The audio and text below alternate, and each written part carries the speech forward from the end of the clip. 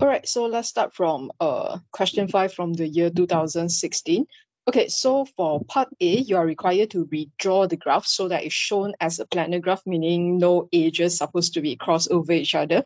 So when you try to look at part one, okay, so you can see that basically these are the parts that you have your edges cross over each other. So that's why uh, it is quite obvious that you can see that as long as you move AC outwards, okay, then all your crossing over will be solved.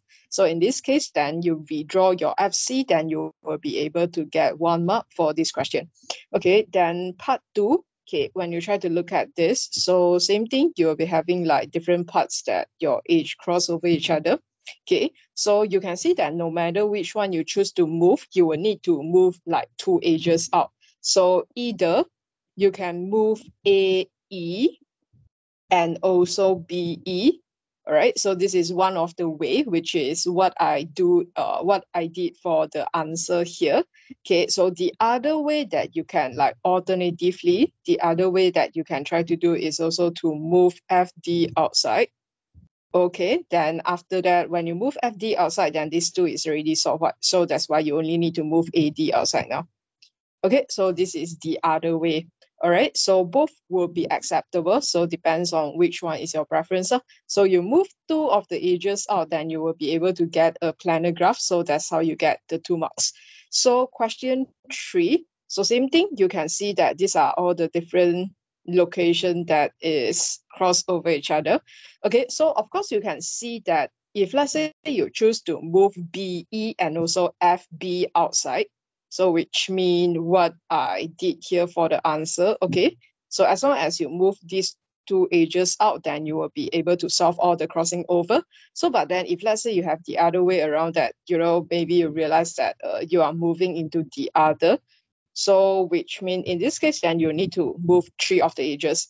So when you move GD outside, then these two are solved.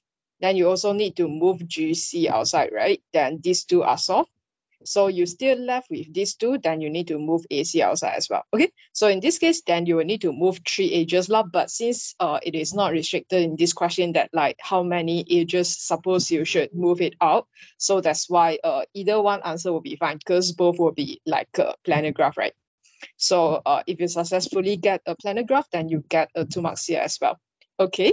Then after that, let's look at part B. So verify the Euler's rule. So uh, the only thing that I need to be careful for Euler's rule is that it only apply for all the graph that you have redrawn it. Okay, so which means that you cannot do it on the original graph. You must have it for your the graph that you have already redrawn. So that's why when you look at part A1, okay, so let me do it here, then uh, cut to the other side.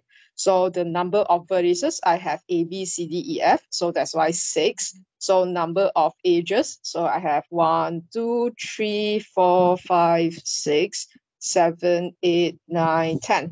Okay, so 10 edges. And after that, for faces, then I have one, two, three, four, five, and then six outside.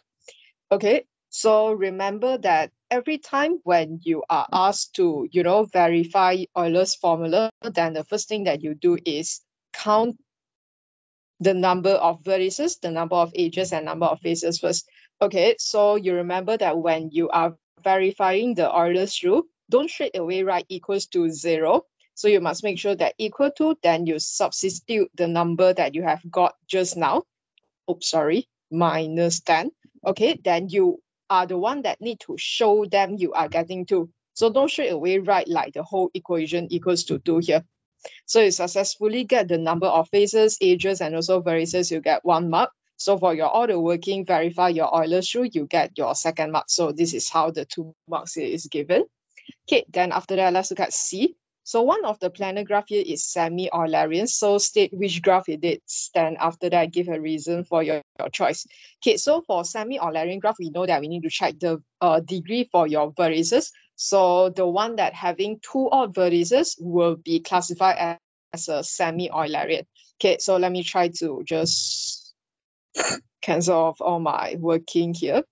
Okay, so for this question, actually, no matter you are looking at the one before you redrawn or after you redrawn, they're supposed to give you the same answer because your adjacency should be the same even when you redraw it as the planar graph. So it doesn't quite matter like which one you are looking at. But if you were to ask me, then I would say that looking at the original one is safer because uh, just in case, right, you draw anything wrong when you try to redraw the graph, then uh, you know the, the error will be just carried forward for the next question. So that's why I try to just look at the original graph then do that will be, you know, much easier. Okay, so when you try to look at the first one, then this is three, three, three, three. So obviously you have more than two of vertices already. Then part two, you have three here. This is even, even. This is also three. This is one, two, three, four, five. So five, oh, sorry, that is four. Okay, so this is even also. Then for C is two. Okay, so graph two seems to be like a good, uh, it seems to be like a semi-Eulerian graph. Then we check question three. So that's why this is degree three. Here, one, two, three, four, one, two, three, one, two, three. Here's one, two, three. Okay, so you have more than two vertices as well. But before you make sure you just try to check through all the other, is it make sure that it's all even. Okay, so yeah, you can see that you check all the vertices. So FD is the only one that having a even uh, odd vertices. So that's why graph two. So the question asks you to justify your choice, then you're going to link it to how do you check just now. So the graph has two odd vertices. Okay, so that's how you answer this question. So successfully get that uh, graph 2 is a semi-Eulerian, you get one mark. So the graph has two odd vertices, then you get one mark. Okay, all right, so that's it for the first question here.